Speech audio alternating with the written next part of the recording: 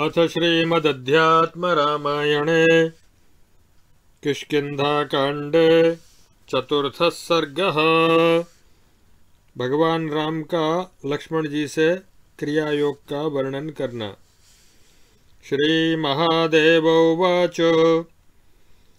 तत्र वार्षिकदिनानि राघवो, लीलया मणिगुहासु सञ्चरन्।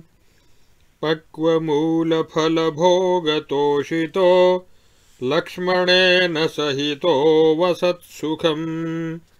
बातनुन्न जलपूरितमेघा नन्तरस्तनित वैद्युतगर्भान्।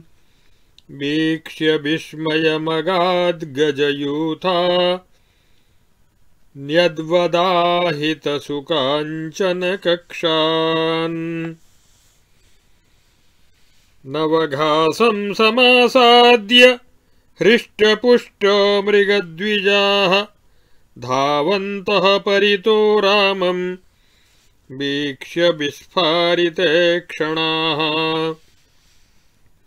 न चलन्ति सदा ध्याननिष्ठा इव मुनीश्वराः। रामम् मानुषरूपेण गिरिकाननभूमिषु। चरन्तम् परमात्मानम् ज्ञात्वा सिद्धगणा भुवि मृगपक्षिगणा भूत्वा राममेवानुसेविरे। सौमित्रिरेकदा राममेकान्ते ध्यानतत्परम् समाधिविरमे भक्त्या प्रणयाद्विनयान्वितः अब्रवीद्देवते वाक्यात् पूर्वोक्ताद्विगतो मम। अनाद्यविद्यासम्भूतः संशयो हृदि संस्थितः। इदानीम् श्रोतुमिच्छामि क्रियामार्गेण राघव। भवदाराधनम् लोके यथा कुर्वन्ति योगिनः इदमेव सदा प्राहुर्योगिनो मुक्तिसाधनम्। नारदोऽपि तथा व्यासो ब्रह्मा कमलसम्भवः। ब्रह्मक्षत्रादिवर्णानामाश्रमाणाम् च मोक्षदम्। स्त्रीशूद्राणाम् च राजेन्द्र सुलभम् मुक्तिसाधनम्। तव भक्ताय मे भ्रात्रे ब्रूहि लोकोपकारकम्। श्रीराम उवाच। मम पूजाविधानस्य नान्तोऽस्ति रघुनन्दन। तथापि वक्ष्ये सङ्क्षेपादि यथा वदनु पूर्वशः।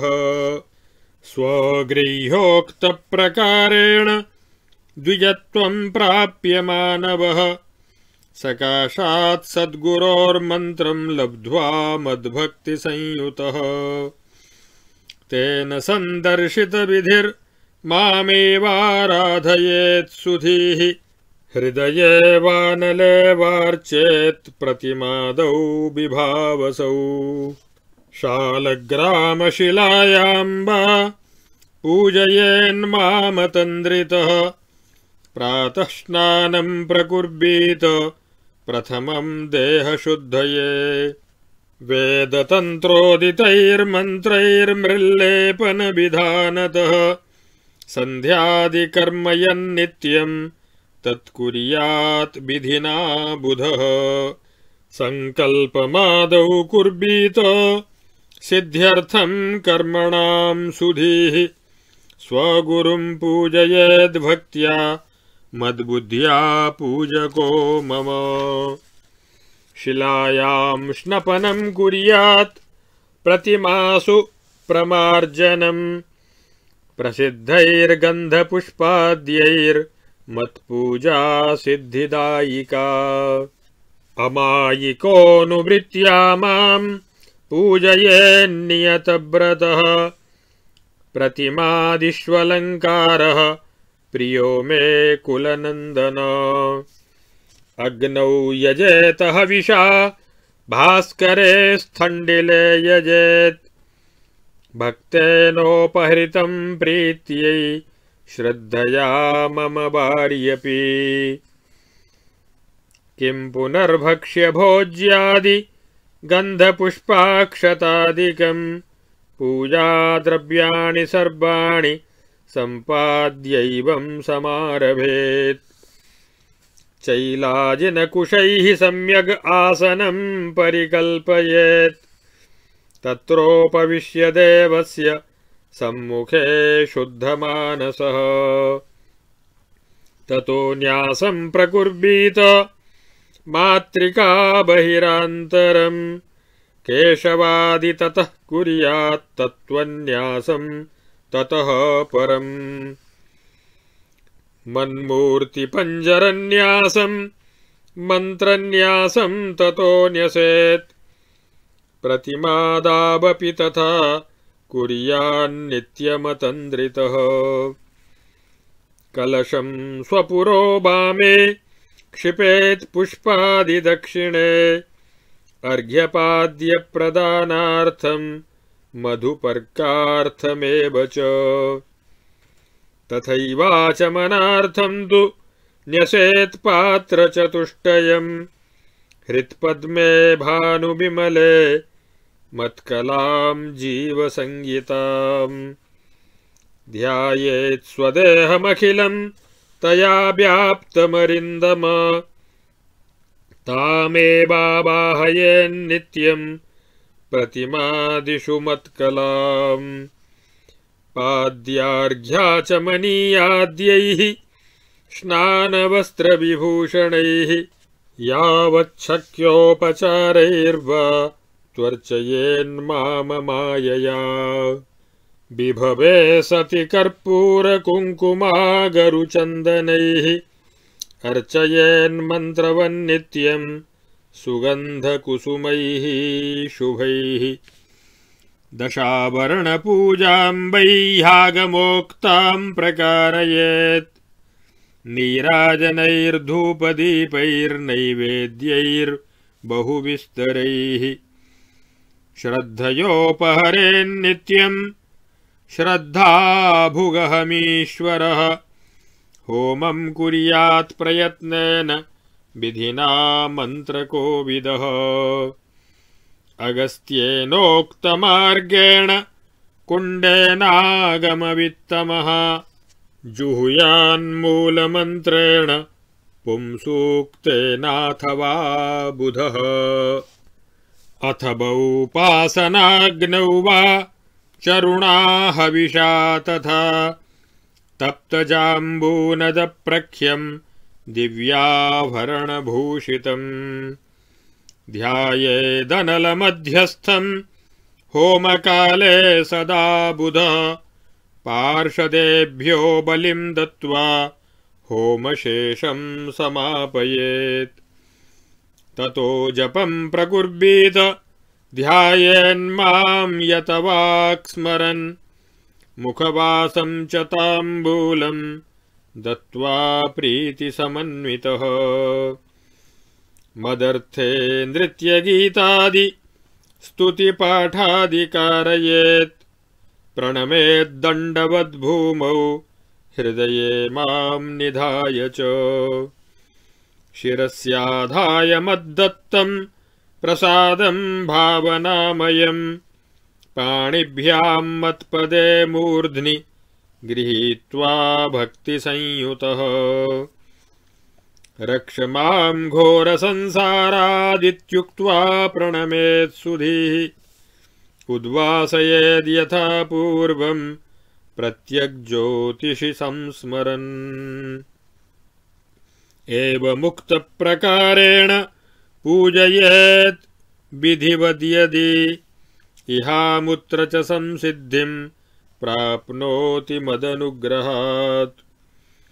मद्भक्तो यदि मामेवम् पूजाम् चैव दिने दिने करोमि मम सारूप्यम् प्राप्नोत्येव न संशयः।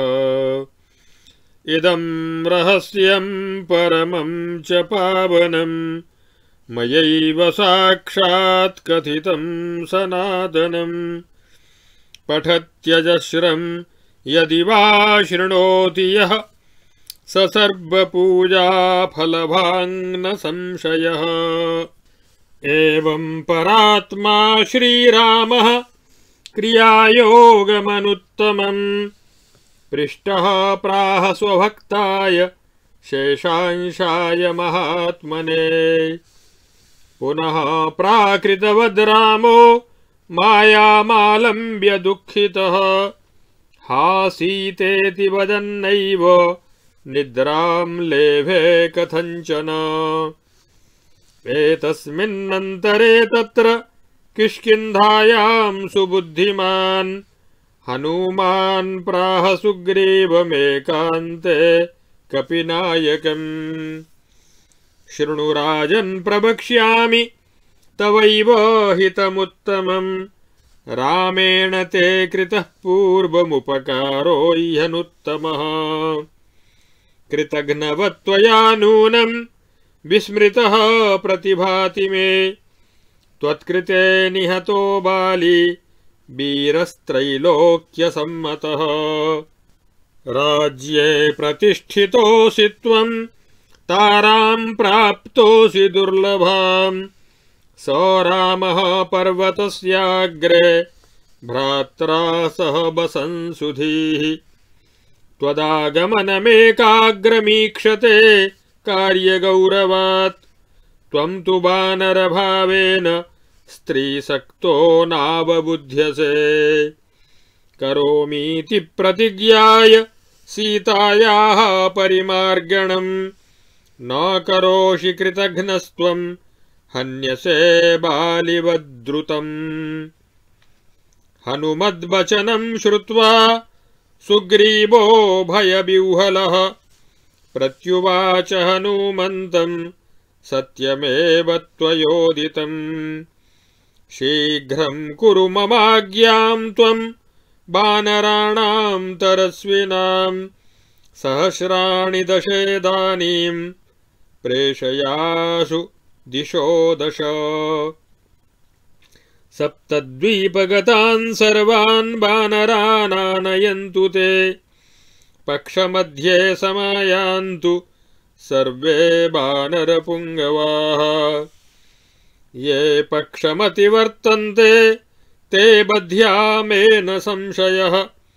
इत्याज्ञाप्य हनूमन्तम् सुग्रीवो गृहमाविशत् सुग्रीवाज्ञाम् पुरस्कृत्य हनूमान् मन्त्रिसत्तमः। तत्क्षणे प्रेषयामास हरीन् दशदिशः सुधीः। अगणितगुणसत्त्वान् वायुवेगप्रचारान् वनचरगणमुख्यान् पर्वताकाररूपान् पवनहितकुमारः प्रेषयामास दूतानतिरभसतरात्मा दानमानादितृप्तान्। इति श्रीमदध्यात्मरामायणे उमामहेश्वरसंवादे किष्किन्धाकाण्डे चतुर्थः सर्गः